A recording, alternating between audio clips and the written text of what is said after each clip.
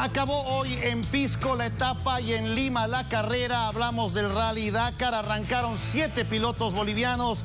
Tres llegaron a completar la competencia más dura del automovilismo en todo el planeta.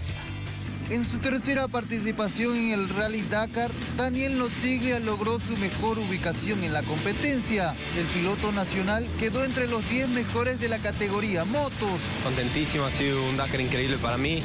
Estar en el top 10 y siempre peleando con los mejores es algo, algo increíble, la verdad un sueño que, que hoy por hoy se hace realidad realmente.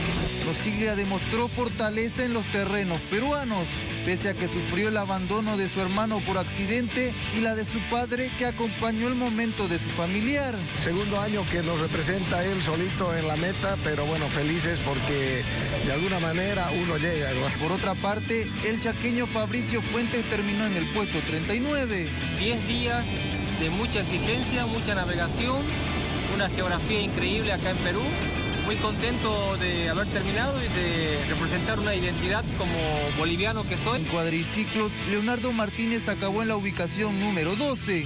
Realmente fue una etapa y una, una carrera muy, muy difícil, con muchos problemas, pero llegué hasta acá, este era el objetivo.